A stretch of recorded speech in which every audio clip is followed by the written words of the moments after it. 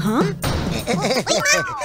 आप लोग यहाँ क्या कर रहे हैं? गजेंद्र ने हमें ध्यान रखने के लिए कहा मछली की हड्डी को कोई रक्षा के लिए रखेगा क्या? महारानी चिंता न करें निश्चित होकर जाइए। यहाँ मैं हूँ ना। हाँ। बेटी राधा? अरे माँ जल्दी चाहिए यहाँ से। छे सब बिगड़ गया। कबाब में हड्डी आ गई। निवाला मुँह में आते आते रह गया।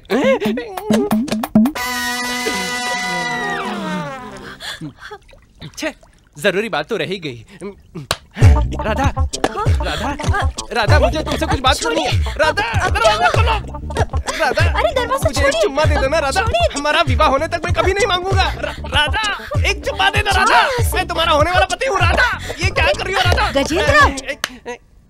राधा के कक्ष में तुम क्या कर रहे हो? माँ मैं स्नान करने जा रही हूँ ऐसा कहा फिर महारानी मैंने कुछ गलत नहीं किया। इस तरह अंदर आकर गलत नहीं कर रहे हो? ये बात बाहर पता चलेगी तो लोग क्या सोचेंगे? नहीं महारानी मैं मैं कुछ नहीं सुनना चाहती।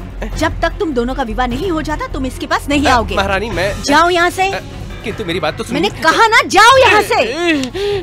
सासू माँ भी मुझे गलत समझ रही है। तुम स्नान कर लो बेटी। ठीक है माँ। क्या हुआ? आपने देखा या नहीं? पकड़ के देखा। साथ में आया ही नहीं। ये भी कोई राजकुमार है। राधा गजेंद्र को शक होने लगा है। चाहे कुछ भी हो जाए कोई हमें अलग नहीं कर सकता। अगर प्यार सच्चा हो तो भगवान भी साथ देता सच है।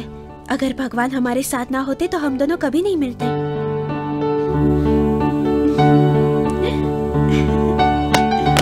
क्या हुआ राधा? अरे माँ यहीं पर है। अब कुछ नहीं माँ हाथ से फिसल कर गिर गया माँ।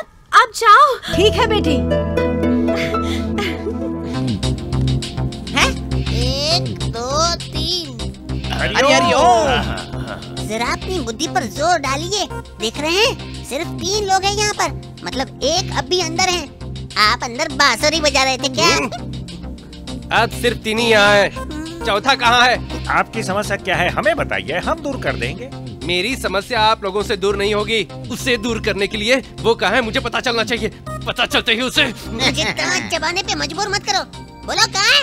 हमारे स्वामी समाधि में है। हम भी उसकी समाधि बनाने आए आने वाली पूर्णिमा के दिन मेरा और राधा का विवाह है। हम्म, इस राजमहल में महाराज की उपस्थिति के बिना राजकुमारी का विवाह करना उचित है क्या? महाराज की उपस्थिति के बिना यदि विवाह करना उचित नहीं है तो मुझे महाराज बना दीजिए। फिर तो हमारे विवाह में कोई बाधा नहीं होगी ना? क्यों राजगुरु? हाँ हाँ राजकुमार। नहीं महाराज की उपस्थिति के बिना इस विवाह के लिए राजकुमारी की अनुमति होगी? आपको संदेह है? तो आइए मैं अभी आपका संदेह दूर कर देता हूँ। लगता है ये हरि हमें मरवाने वाला है।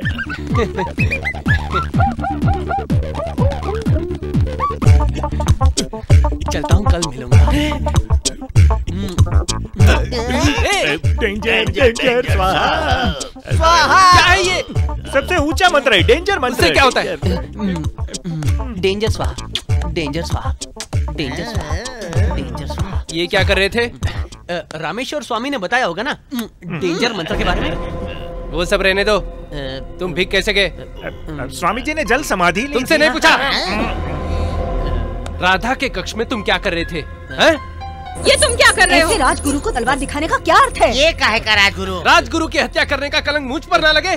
इसलिए मुझे सच सच बताओ मेरी राधा के कक्ष में तुम क्या कर रहे थे? पानी के अंदर अपनी प्यास बुझा दी क्या? अरे रे हे भगवान ये क्या अन्याय है? महारानी वो वो क्या है कि महाराज को वापस लाने के लिए मैं वो लाने के लिए क्या? जो महाराज से अधिक प्रेम करता है उनके पूजा करने से महाराज लौट आएँगे। इसलिए मैं राजकुमारी को तैयार कर रहा था। तैयार करो स्वाहा। तैयार तैयार करो स्वाहा। स्वाहा स्वाहा। बंद करो! स्वामी जी किसी अच्छे कार्य के लिए ही अंदर गए होंगे।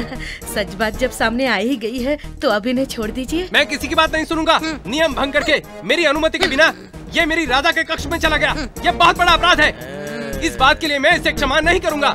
मैं जो कह रहा हूँ सभी ध्यान से सुने। महाराज के लौटने तक राजगद्दी मैं संभालूँगा। ये गद्दी पर चढ़ पाएगा क्या? क्या करना है? मेरी अनुमति के बिना ना कोई राजमहल में आएगा और ना ही कोई बाहर जाएगा। चल बाहर निकल। नहीं नहीं इसे कह रहा हूँ इसे कह रहा हूँ। मैं घोषणा करता हूँ कल मेरा राज्याभिषेक होगा और उसी अवसर पर मेरा और राधा का विवाह भी होगा। अभी से सारी तैयारियाँ शुरू कर दो।